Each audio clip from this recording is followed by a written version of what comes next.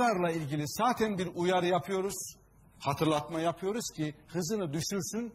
Biz de onu tespit etmeyelim.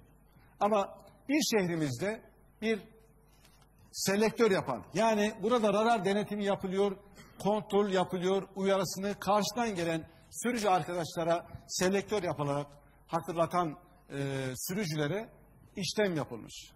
Düzce'limizde 14 işlem yapılmış. Emniyet Genel Müdürümüz arkadaşlarla beraber inceledi ve talimatımızı verdik. O işlemlerin biz tamamını iptal ettik, kaldırdık. Ama bu selektör yapmayla ilgili yani birbirimizi uyarıyla ilgili radarların olmadığı yerde de karşıdan gelen veya yanından geçen bir aşırı hız yaptığını gördüğünüz bir vatandaşımızı, arkadaşımızı o selektör yapmaya lütfen devam edin de orada da bize yardımcı olun.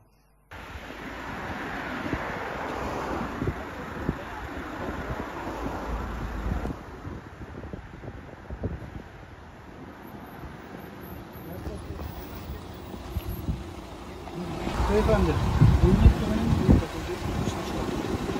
Niye radarın ilgi soruyorsunuz? Radarın ilgi soruyorsunuz. Siyah vatandaşlara soruyorsunuz. Evet, selektör yapıyor. Selektör yapıyor. Tamam. Allah'ın radarı yok. Radarı yok.